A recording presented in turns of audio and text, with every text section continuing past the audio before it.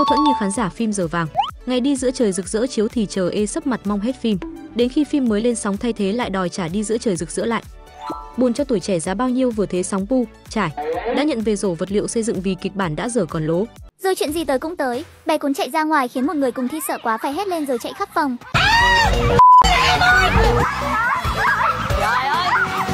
Dàn diễn viên từ top top tràn sang càng làm ngán ngẩm.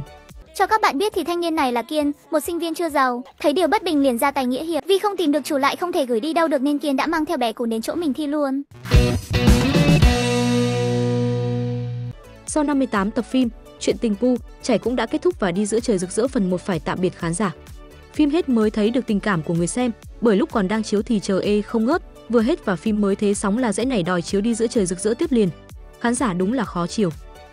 Nhưng ngó qua bộ phim mới lên sóng sau khi đi giữa trời rực rỡ kết thúc cũng phần nào hiểu được vì sao khán giả lại có thái độ như vậy.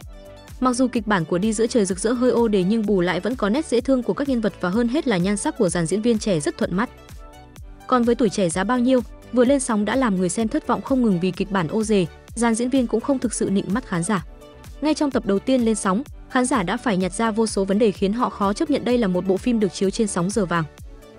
Không xét tới những phân đoạn có phần hơi kịch thì chỉ riêng cái cảnh cô gái sợ chú chó của nam chính thôi cũng làm người xem cười ra nước mắt rồi.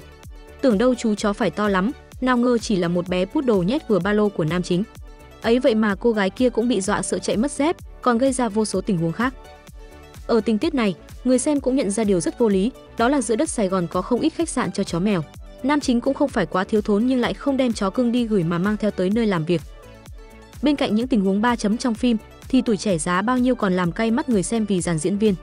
Nam chính Kiên do Đoàn Thế Vinh đảm nhận, một anh chàng chuyên đóng video bên top top, nay đã lên sóng giờ vàng với vai chính. Diễn xuất không quá nổi bật, nhan sắc chỉ ở mức tạm ổn khiến Đoàn Thế Vinh ít nhận được sự yêu thích của khán giả. Các diễn viên khác cũng khá bình thường, không mấy ấn tượng. Hiện tại, khán giả sóng giờ vàng đều rất thất vọng khi nối sóng đi giữa trời rực rỡ là một bộ phim có nhiều bất ổn.